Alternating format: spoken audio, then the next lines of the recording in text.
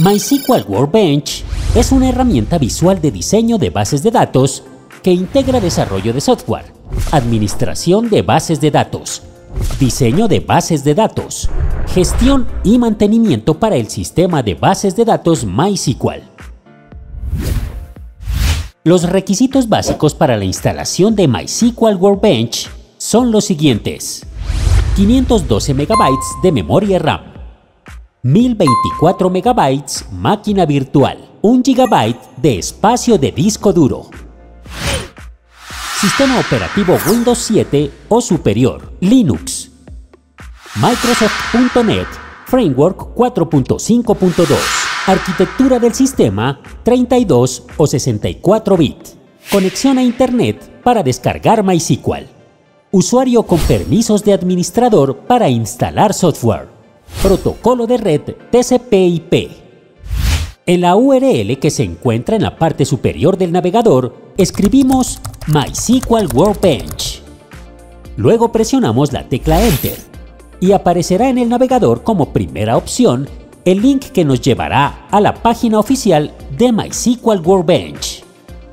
Debemos pulsar sobre este link para entrar a esta página.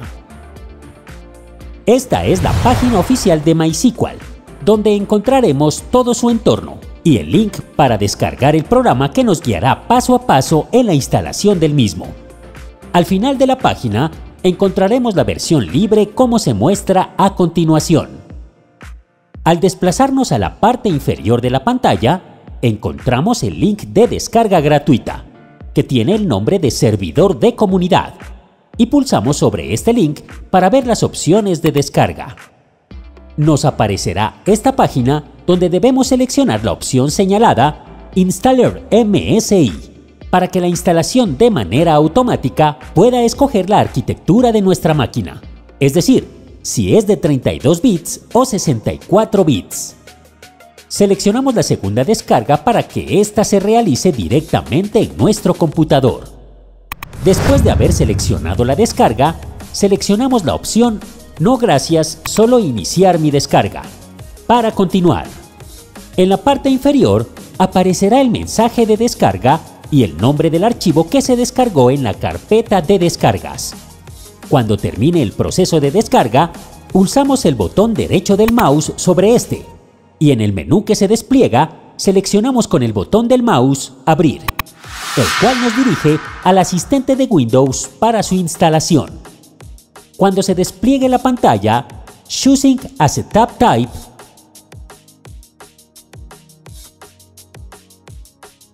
seleccionamos la última opción Custom y presionamos el botón de Siguiente o Next.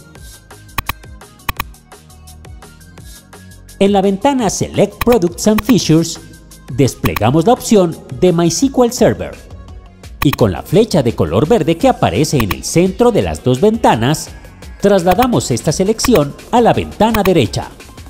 Hacemos el mismo procedimiento para la opción que aparece más abajo titulada MySQL Workbench 8.0.21. Una vez realizado el procedimiento anterior, presionamos Siguiente o Next. En la ventana Installation, seleccionamos la opción Ejecutar o Execute y continuamos con la opción siguiente.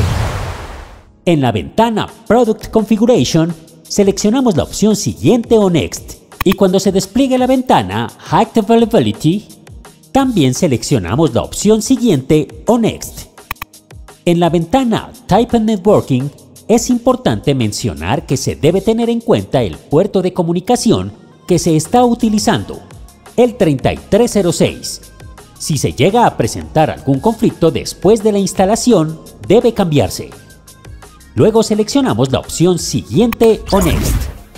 En la ventana Authentication Method, seleccionamos el primer método de autenticación, Use Strong Password for Authentication, y seleccionamos la opción Siguiente o Next.